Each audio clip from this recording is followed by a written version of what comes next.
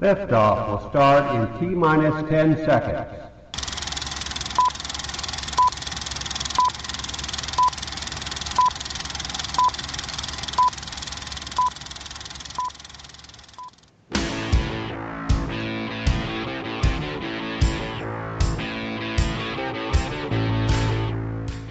Hey, what's up, everybody? This is Evan and John, and you're listening to the Boomer and X Show.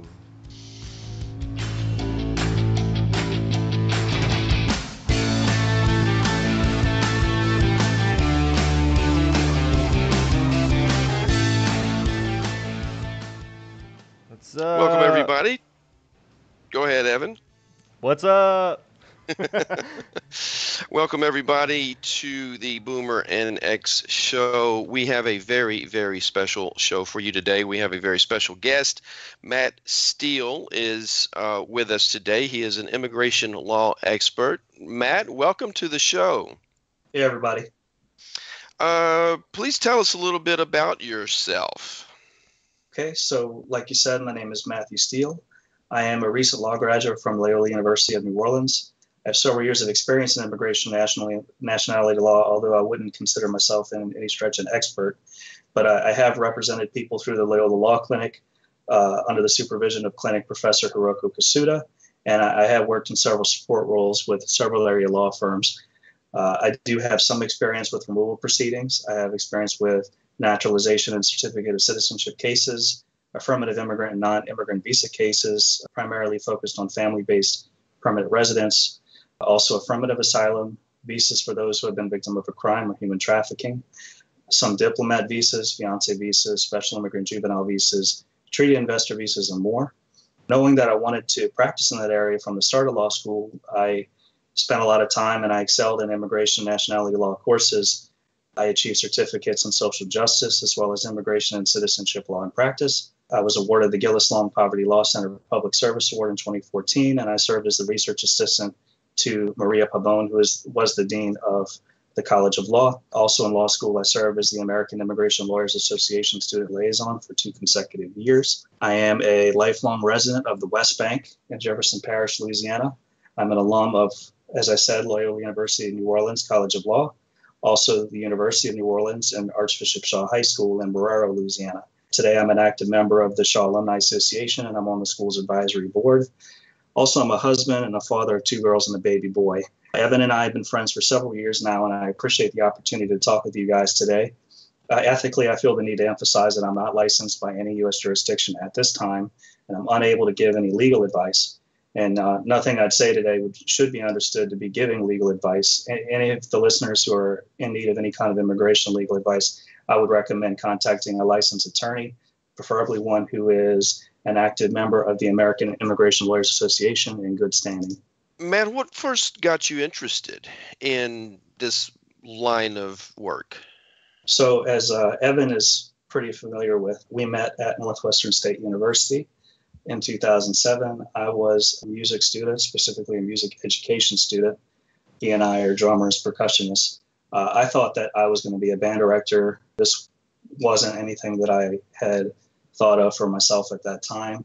My dad was is is and was a lawyer, and I think I had kind of the legal profession in a in a box in, in my mind that you know I love and respect my dad and, and, and his work, but I didn't I wasn't interested in doing car accident cases mm-hmm. and that kind of thing.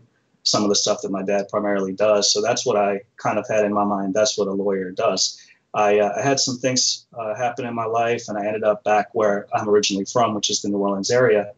I finished up my bachelor's degree at UNO, and during that time, I took a few courses, and I really reflected on, you know, is music really the path I want to take? I prayed and I reflected on it a lot, and I took a course on uh, immigration policy given by Professor Rosenberg at UNO and it really kind of opened my eyes to the legal profession in, in, in, a different way than what I was familiar with, and immigration and migration and uh, its evolution over the past few hundred years, and policy and all these interesting things. And uh, as a Catholic, it was particularly uh, attractive because the Catholic Church is so vocal in support of the migrant, you know, the foreigner, as it as it's referred to in Exodus and other parts of the Bible. It became a really attractive thing for me. So I finished UNO with an interdisciplinary studies degree, which is kind of a glorified general studies degree, knowing that I just want to be able to take as many courses I can that I know I'm going to do well at to build up my GPA and get myself into law school so I can do this thing. When I got to law school, I essentially stalked Professor Hiroko Kusuda that I referred to earlier, mm-hmm. and uh, she she's the head of the clinical program at, at Loyola, and I, you know I begged her to let me volunteer in some stuff, and instead of letting me get her coffee, she put me right onto the front lines, and I was representing non-immigrants in immigration court as a first year law student because they have a program where law students are given special permission to represent people free of charge who are in need of legal help. So it's win win. I was able to get experience before I even graduated law school, and people were able to be represented who otherwise could not afford a lawyer. That's kind of how I got to that point. Of course, immigration has been a topic, a political topic, certainly for years. It was a very hot topic during the 26 presidential campaign. It now it, you know it was right? really brought to the forefront by the Republican candidate and now President Donald Trump with a lot of talk of deportation of illegals and building of walls and and and, and kind of trying to relate it all to, to national security. And as Evan and I have have talked among ourselves for quite some time, and, and we were we wanted to have you on even before we went on our unexpected six month hiatus. We, um, uh, you know, a lot of people have an opinion about immigration, but very few people know much about it. So the reason we want to have you on today is to uh, is so we'll have some basis going forward for forming some of our opinions and and and because it, having an informed opinion is always better than just having an opinion based on previous biases or prejudices. So that's what we're looking for today some um, some education from you. Sure. And in the news you know journalists do a, as good a job as they can. Their expertise is in journalism not in all the various things that, that they talk about or that they write about. So people unfortunately have a limited understanding of things. You can't be an expert or, or well versed in every single thing. So it's not nothing to be ashamed of, but hopefully I can give some insight on this area that I have a little bit of experience with today. Well, let's start with uh, just a, a, basic. I mean, terms like illegal immigration and legal immigration, or documented workers or undocumented workers, get thrown around a lot. Can we kind of just start by maybe going with what do those terms actually mean and who might fall into those categories? Even if those categories even actually have relevance in in those words specifically. Okay so uh, as you pointed out there's depending on what your maybe a person's political persuasion might be they may choose to use different terms. Uh, i gravitate towards undocumented because it's understood to be kind of the the less intense and the, the less defensive term. Mm-hmm. But essentially, at the end of the day, legal versus illegal, it's not always a black and white thing. It's it's actually very gray. For example, somebody who might initially come to the United States on some kind of visa, we'll say a student or a tourist visa, may overstay, putting them in unlawful status. Uh, and the converse of that is also true, where somebody may cross the border or take a flight here the, the legal term is without inspection, but that person is eligible for certain types of relief. So arguably, people might say that that person is undocumented or illegal, but arguably that person is not because they enter the country with that type of relief available to them. So it really isn't a cut or dry kind of thing. What what provides that type of relief? Okay, so for example, the United States is a party to the Refugee Convention. It's party to the Convention Against Torture through the UN. And because of that, we have an obligation to protect certain persons who are from a particular country and for whatever reason is unable or unwilling to avail themselves of the protection of that country and are persecuted under specified bases. And the government is typically either the perpetrator of the persecution or they turn a blind eye or they just simply don't have the resources to protect that person. So, pursuant to our treaty obligations and now our, our laws and regulations, we have an obligation to at least allow that person to make their case before an asylum officer or before an immigration court that they're eligible for uh, it, it's called asylum. You often hear political asylum, but it doesn't necessarily need to hinge off of politics. It can be off of other bases, but it's it's referred to as asylum. You mentioned student visas and travel visas, right? Tourist, yeah. Tourist, yeah, tourist. Oh, how long are they usually valid for? So when a person enters the United States, uh, they're either issued typically what's called an I-94 card or an I-94W, and what that says on it is that this person is eligible to stay in this country until this date, depending on what it is. As far as a student, typically what you'll see written on these cards, which are digital now, but you'll see on them D slash S, which mm-hmm. stands for duration of status, which in very plain terms means if I come here as a student, as long as I'm still in that program or I, I stay a student, as long as I'm a student, I'm good. You also asked about tourist visa. A lot of times a tourist visa, it'll say on the I-94 card a specified day that you got to get out. And that is something that is determined by typically CBP, Border Patrol, when the person comes in. So that's that's a common misconception too, is that there's a difference between visa validity, time validity, and what your actual stay is valid for. Sometimes people think, well, my visa is valid from this day to this day, so I must be okay to stay. Mm-hmm. Uh, what, what the visa says doesn't really matter. What matters is what the immigration official at the border or at the airport puts on this particular card that I'm referring to. They'll ask them some questions and based on that, they'll say essentially what a visa does is is ask permission to enter. But aside from that, it doesn't do anything. It's the, the I 94 card that tells a person this is how long you can stay. And what's the means of keeping track of these people once that once they're in the country? So immigration is kind of overseen by several federal agencies. It mm-hmm. includes the Department of State, the Department of Homeland Security, in some ways, Health and Human Services, the Department of Labor, uh, the FBI, national security agencies. They somewhat work together and, and they keep track of people who are entering and leaving. A person who is here is supposed to, for example, let the government know every time that they change addresses and that kind of thing. Mm-hmm. Now, it, to an extent, it is kind of an honor system. People can go years and may have several addresses and never do that. So, I mean, there, there maybe is an argument that it could be strengthened a little bit or more centralized or that the agencies could do some more, more information sharing and do a better job. So if someone fails to alert the government of, of a of a change, are, are they then in, in, in some sort of criminal state just by failure to do so?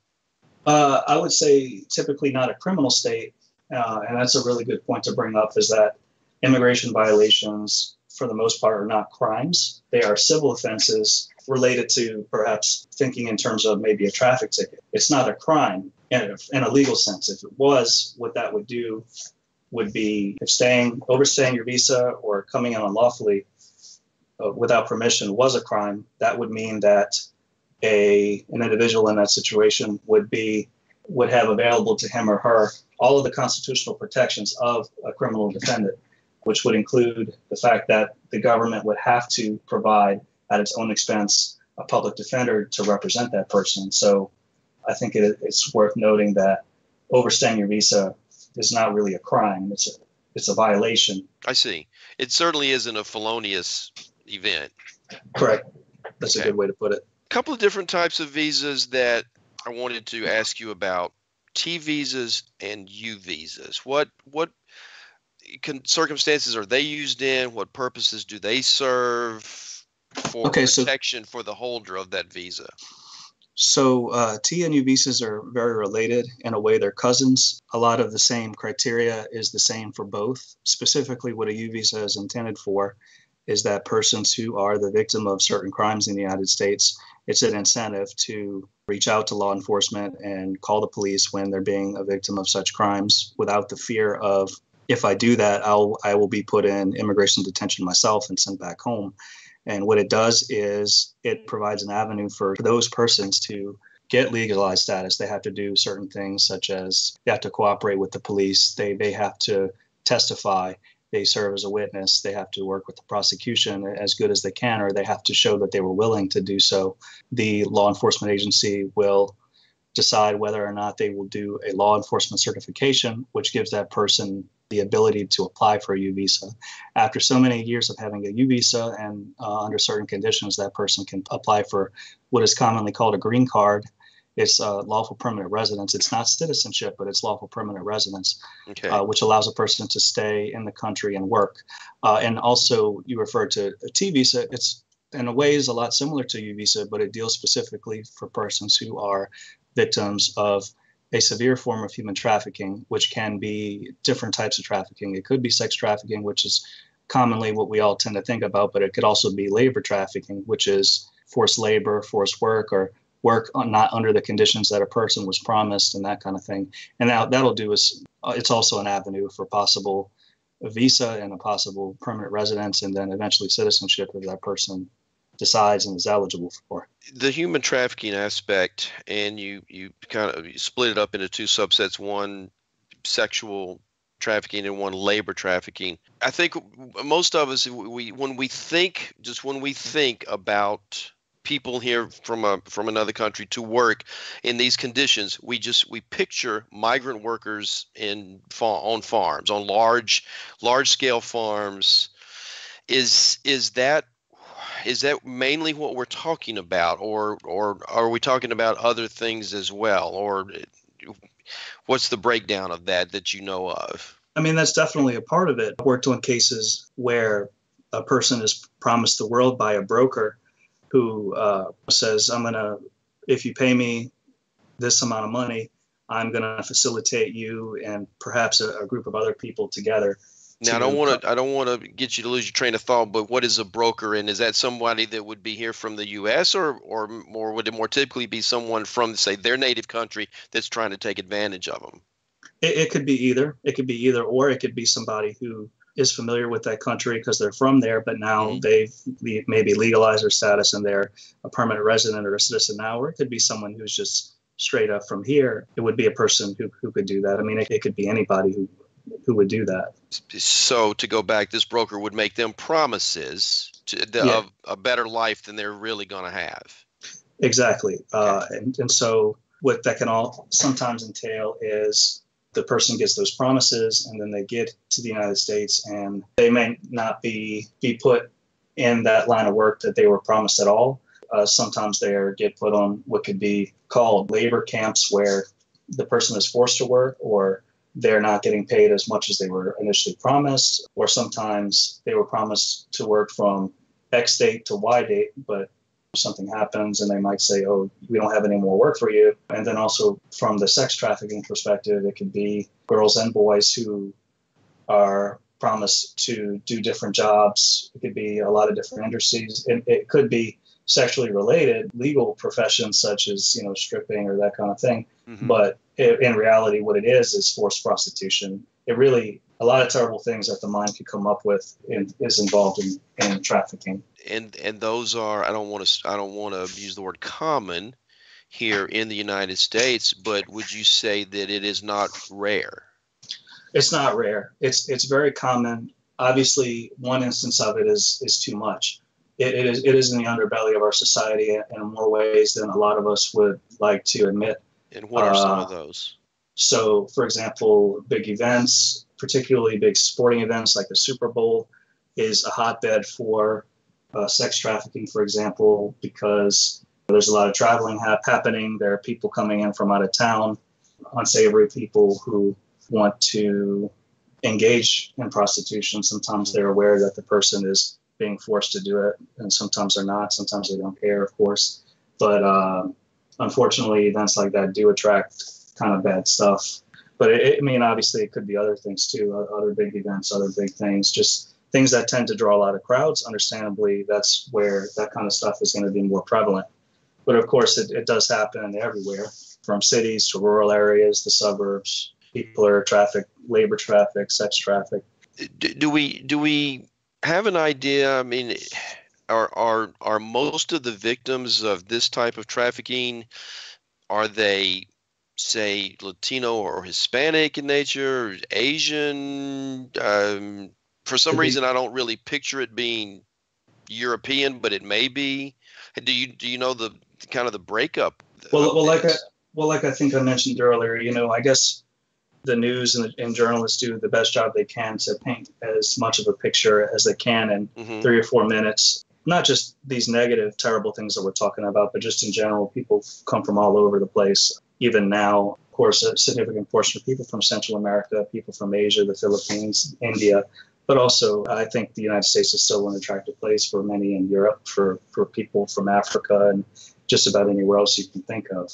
We have a term that gets used a lot lately uh, refugees. Refugees uh, fleeing syria. Refugees fleeing bad situations in central america or south america. What are some of the protections that we as a, a country offer? So refugee is in some ways the cousin of what i talked about earlier which is asylum status a refugee just means somebody who meets the same criteria as someone trying to get asylum status, but they're not presently in this country. They're in another country, and they're making the case that they want to enter this country as a refugee. Whereas a, a person trying to seek asylum is someone who comes in the country first and either goes to the asylum office or gets put into removal proceedings and makes that case. But it's essentially the same thing. They're, and they're, so they okay, so that's the only difference. An, an asylum seeker is already here, right. and a refugee is trying to get here to seek asylum. Well, to, to seek uh, what is an equivalent type of protection. There are little differences, such as an asylee has the ability after one year of being in asylum status to apply for lawful permanent residence, otherwise known as a green card. Whereas a refugee, if a, if a person enters as a refugee, they are obliged to apply for that green card after a year. But uh, at the end of the day, it's it's it's an extremely similar criteria. It's just a matter of geography. Are, are, is the person here, or are they still over there? Can you describe to us the difference between lawful permanent residence and naturalized citizen? Okay, so lawful permanent residence is the legal term. Often people still call it a green card and what it is it, there's so there are so many innumerable ways to to get that through different avenues. But when a person has the lawful permanent residence that gives them the ability to live permanently in the united states and to work and not be limited in their employment. Uh, but that's that person that individual who has that is still subject to all of our immigration laws. They can still be removed uh, if they violate certain laws or uh, the case is made that they have. That person is still still subject to another body of law that citizens are not. So citizens are not obviously not subject to the immigration laws. If the only kind of very limited circumstances where uh, a naturalized citizen would be subject to immigration laws is if uh, the federal government determines with evidence that that person was naturalized and became a citizen through some kind of fraud. Uh, then a person can, in very limited circumstances, a person can be denaturalized. But if a person becomes a citizen and meets all the requirements that they can essentially do whatever they want, they'll still be subject to our, our domestic criminal laws, but they won't be subject to the immigration laws anymore. So uh, let me duck in and ask me a question real quick. I don't know the term, but when someone is going through the deportation process, say they've been they're an illegal alien, they've been here for many years, they have American kids, and what there's some kind of hardship clause that can keep them from being deported, right? Sure. So when a person is in removal proceedings, they're in court, they can make various cases that they're eligible for certain things. Often this, these are things that people aren't aware of on their own. That's where advocates come in and, and represent them or educate them on things that they're eligible for to be able to stay. If a person eh, has been in the United States and they are a lawful permanent resident, maybe they're undocumented, maybe there are other things, and they are able to successfully make the case that they have lived in this country for a certain amount of time, a requisite amount of time, and that they have a qualifying United States citizen or lawful permanent resident family member that would experience some bad hardship if that person would have to go back.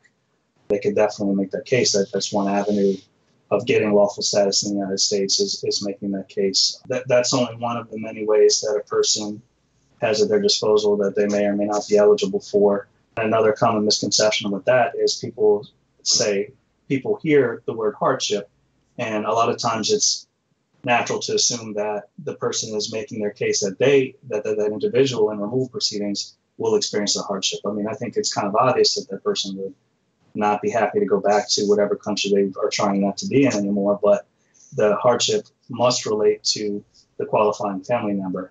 So, what, for example, what a person would do if they represent themselves or, or an advocate on their behalf would make the case that uh, this person is a person of good character. Uh, they've been in the United States for these many years. They, these are witnesses who attest to that. This person is a model person in our society. He or she is very active in the faith community, volunteers on the weekends, never caused any criminal trouble, has never been arrested or, or not, nothing's very severe. Th- those are all things that would be brought up in that kind of context. So it's you show that they're an outstanding citizen, but you it's almost like they're in asylum. They don't want to go back because of repercussions Well- of some sort. You're certainly able to say, don't remove me because I am eligible for asylum and I'm eligible for, we, we call it cancellation of removal, and I'm eligible for other things too. But the person's home country might be completely fine. There might be nothing wrong with it. There might be no reason that the person needs to fear for their life or that they're going to be persecuted. They just simply want to be here with their family. They've been here for so many years. Uh, they've started a life, they started a career, family, and they want to be able to stay with their family, understandably. It might not be anything go- going wrong in the home country, but like, again, or they could be, and then they would potentially be eligible for asylum too or something else.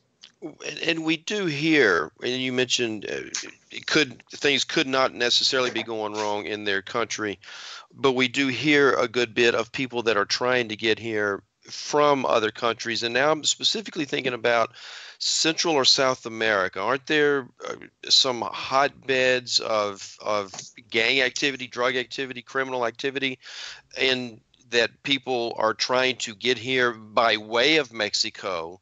From farther south. Isn't that the case?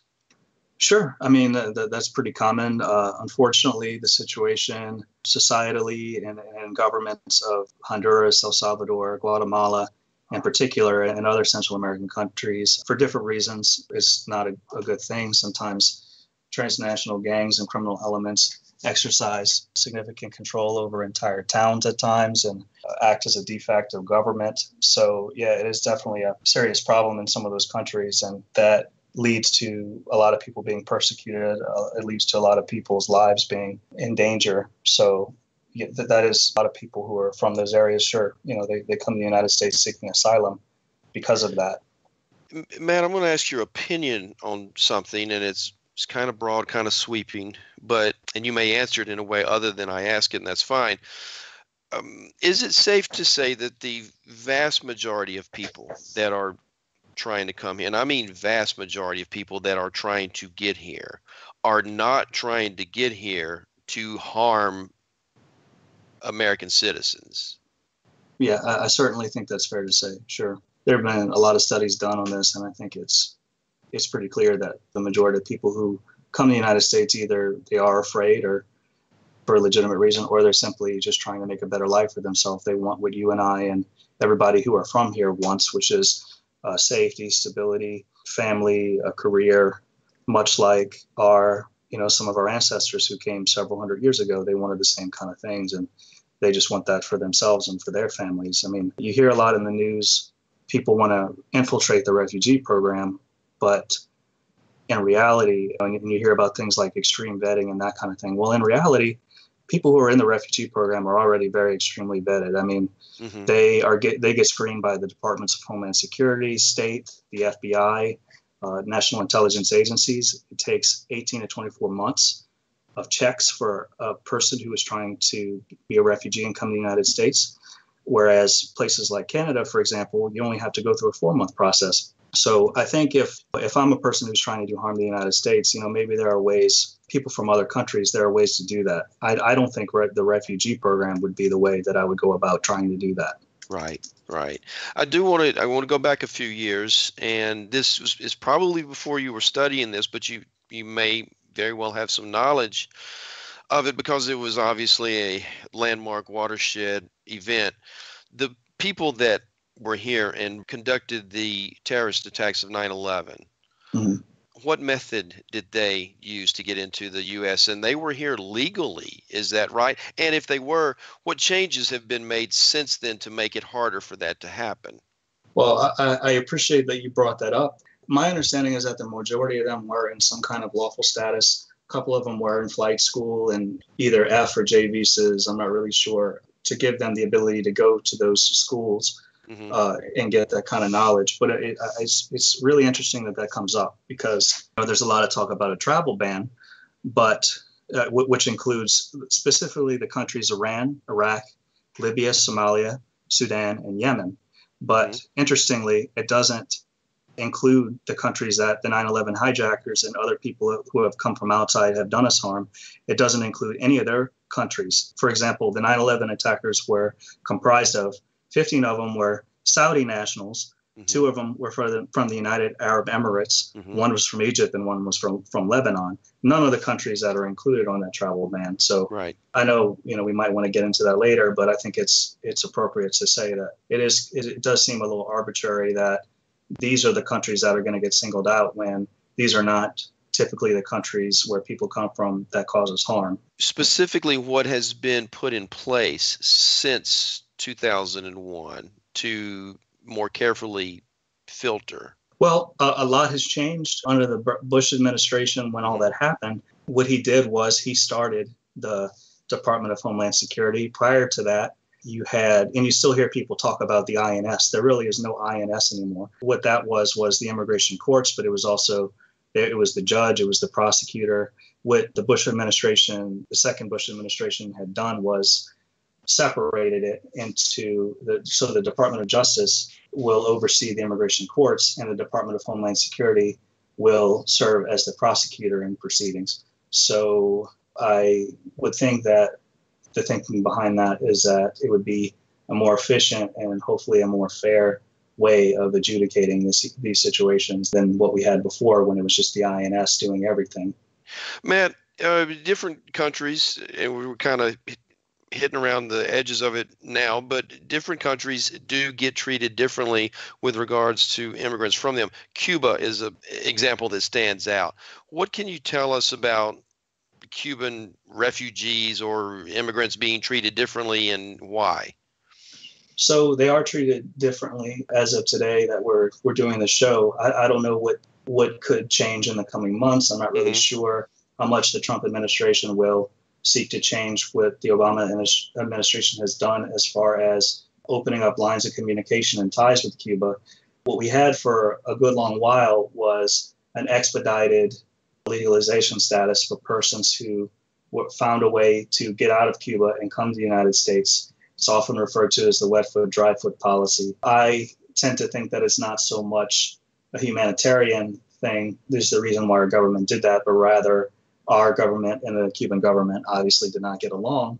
And it was our way of kind of snubbing the Cuban government to say, people want to get out of your country so bad, they want to come here, look at us, and we're going to make them, we're going to help them out. So, Right. uh, so one thing that opening ties with Cuba does and eliminate that kind of policy or the, or you know, the stated need for that policy Matt, with regards to the wet foot, dry foot policy and, and Cuban immigrants or, or uh, refugees, is has did that change late in the uh, Obama administration?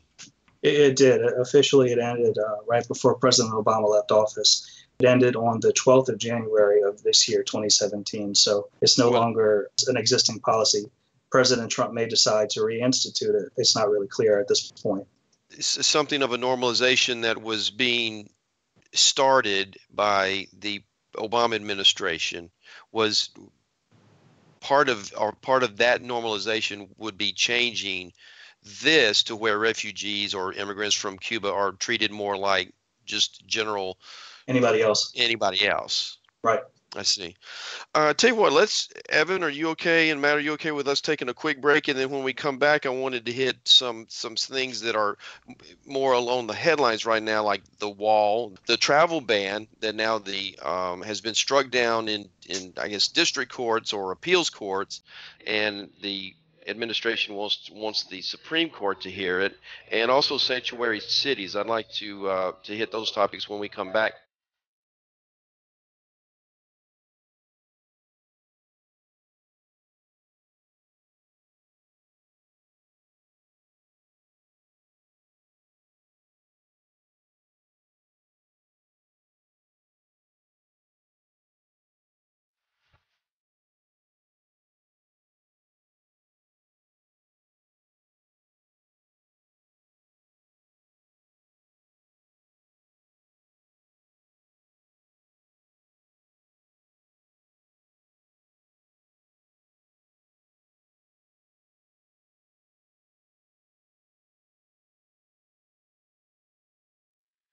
All right, we're back from break. Thank you for staying with us. Again, we are with Matthew Steel.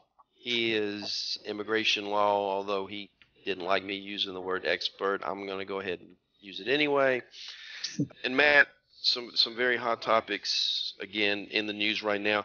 The travel ban from six Muslim nations, and you touched on it before the break that they seem to be randomly selected Uh, some people have even pointed out that the current president doesn't have business interests in those six countries. That it, it may not be that random after all. But you, you did touch on the fact that none of the people that, that have hurt us, either in 9 11 or subsequent, you know, much more isolated or minor attacks, none of the people are from those six countries. Yeah, the, it's just, sorry, go ahead.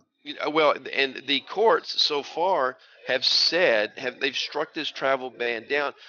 Can you, as those of us that are laymen and and not uh, legally trained or educated, can you tell us the basis by which the courts have struck this travel ban down thus far? So, I, I full disclaimer, I haven't had an opportunity to read the, the opinions of the courts from mm-hmm. start to finish. I've read certain excerpts, and from what I can gather from it is that essentially the court is pointing out a couple things. What it's pointing out is that it's arbitrary, that these countries, Iran, Iraq, Libya, Somalia, Sudan, and Yemen, there's really no evidence to support that these countries in particular pose any kind of more harm than anybody else. Interestingly, it doesn't include Pakistan, it doesn't include Afghanistan, Egypt, and, and most notably maybe Saudi Arabia that is by some accounts the largest uh, state sponsor of terrorism in the world.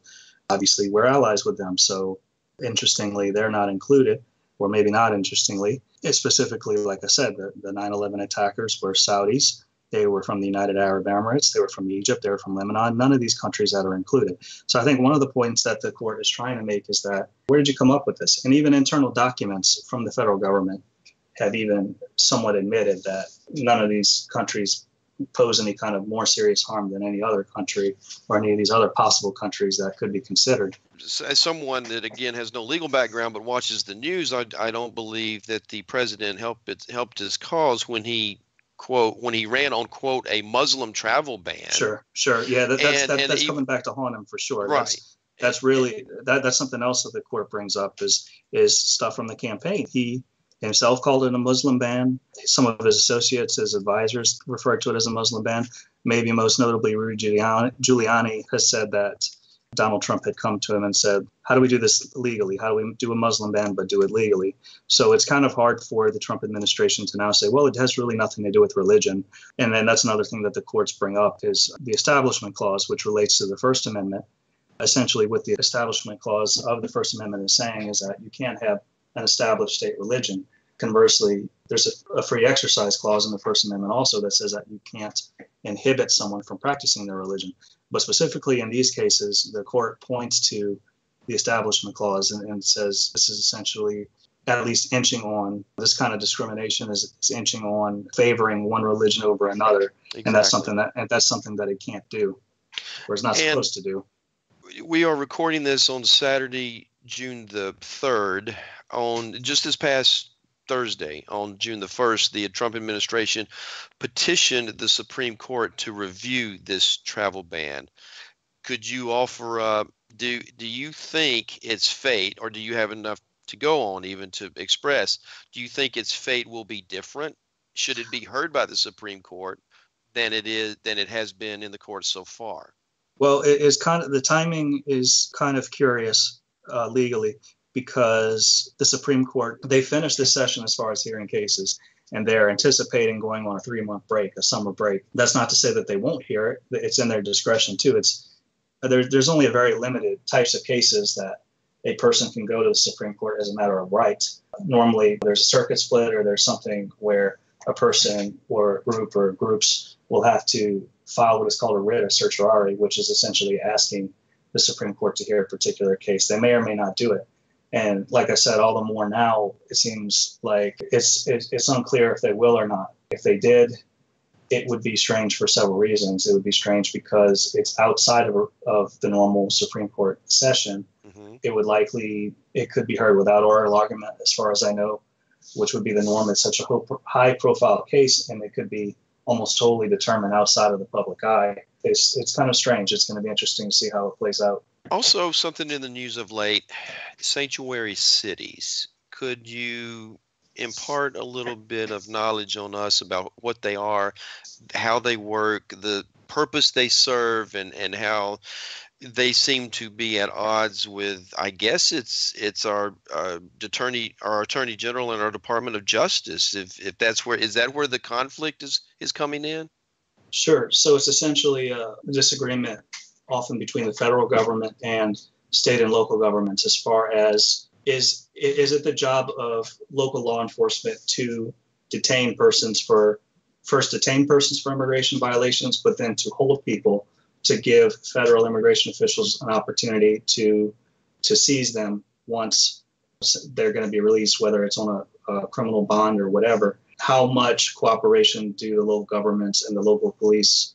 How much do they have to cooperate with the uh, with the federal government? And the federal government says, okay, you don't want to you don't want to play with us. We'll take away federal funds from your community. So it's kind of a, it's kind of a back and forth between the federal, the state, and local governments. You know, from the I think the local governments who support these so-called sanctuary policies, from their perspective, we have a system of federalism in this country that, yes, we're all interrelated, but to what extent? And we have our own sovereignty. We can make our own decisions. We're not here to do your job.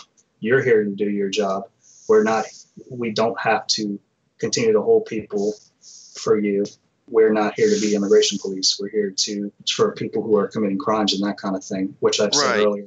Immigration and, and violations the, are typically not crimes. Is there a constitutional basis for the federal government to withhold any kind of assistance, um, uh, financial or otherwise, from these cities? Well, that, that's something that I think is yet to be determined. I think there's probably compelling arguments on both sides, but I think it's safe to say that it's not something that's completely figured out yet to what extent that the cooperation needs to be taking place and if cooperation is refused is the federal government able to really do that take away federal funds the news uh, this is coming from a perspective as most people i've seen on the news jeff sessions say we're kind of back off from that idea so possibly he's starting to concede that they can't really do that I, am really not sure how that's going to go but mm-hmm.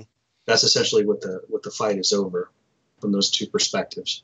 And one other big topic brought up during the campaign and, and is, is still thrown out there, although I, I, I think it's it's safe to say that uh, I, I, think most of us thought that the wall, the the wall along the Mexican border, the wasn't was never going to be built for a number of reasons. But let's say, for the sake of argument, that it is going to start being built. Let's say, from a standpoint of cost effectiveness, deterrent to bad people, whatever those people might be, bad people getting in, is it is it something that would be a wise use of our resources and our dollars in terms of making Americans safer? No. Uh, and, and that's not, of course, we all have biases, but I think of this more in an economics realm. Uh, it just, to me, doesn't make fiscally conservative sense to invest all this money when we're in, apparently in trillions of dollars of debt to invest into a wall that I would argue would be completely ineffective. You know, would it deter some? Sure, but people people want to get here, whether for good or bad reasons. They're going to find a way. Uh, I don't think a wall, any kind of wall, uh, I don't think we have the money for it. I don't know how we can justify that we do have the money for it. And even if, for, for argument's sake, if it does get built, as I mentioned earlier, if people would use the refugee program, for example, to come do harm in the United States, if I'm a person who wants to do that and there's a big wall on the United States Mexico border, okay, well, there's a generally a four month process to become a refugee in Canada. I'm going to go do it that way, and then I'm going to cross that border. So, again, it's kind of another the Trump administration is trying to make good on campaign promises, like every every new president does. But I just don't see a how how we can justify that with everything else that we say that we don't have the money for, and I would say that I don't see any evidence to show that it would be effective at all in in deterring terrorism and, and those kind of things, but also just in general people crossing the border without permission or without inspection. I just don't see there, there's a lot of memes online that I think are, are funny, but I think they're accurate. That And uh, such it- it- it- what, laws are not effective, and then you'll see a bunch of pictures of ladders. You know, Right. people. I think that I think the point of that joke is that over, under, sideways, people would find a way around it. So if we're going to do that again to be consistent, should we just wall in the entire country? I mean, it all seems a little bit silly to me. It, it, it does, and and most people that that get here don't don't get here just by crossing a physical border on on foot or on vehicle, and right? Sure, Yeah. sure. Uh, people take planes, and you know, there's all kind of ways. Boat. Speaking of boat, I think it would be interesting to try to build a wall right down the middle of the Rio Grande River. Okay. I mean, write them a letter, I guess. I don't know. I don't know how, how effective that would be either, but go ahead. You know. Matt, I I think that we have all learned a lot during the course of this discussion, and again, I certainly want to express my appreciation for you taking uh, time out of your busy schedule to join us on this Saturday afternoon. Well, likewise, I really appreciate y'all having me and taking the time, and uh, hopefully we can meet again soon. I would I would thoroughly enjoy that. Yes, I would. Matt, like John said, that was an amazing episode. Uh, is there? You mentioned um, what was it, Ayla? Yeah, AILA, American Immigration Lawyer Association. And that's if someone's seeking any immigration lawyer help, they can go to this. Just what Google that. Google that, go to the website, and there, there's a directory. And even if they can't find that, there's contact information.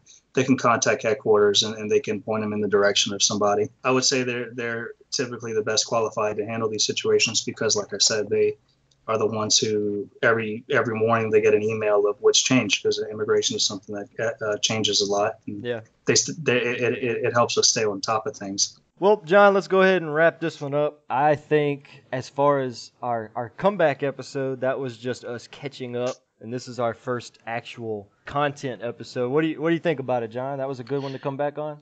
That was a great one to come back on. I, I know that there's a lot of interest in this topic. I have floated the uh, topic by some friends and listeners. Uh, actually, the, the question about TV uh, visas and U visas was a listener submitted question. So I know there's a lot of interest out there. This is timely, this is topical. I'm, I'm thrilled with it. And I think that we will um, get a lot of good feedback on it. I enjoyed that episode. I I know I did too. that was a great one to come back with. John, do you have anything else, my man? No, that's it. Again, thanks to Matthew Steel. Thank you to our listeners, and uh, thanks for staying with us. You know we love you guys, and we will talk to you next time. Love y'all. See ya.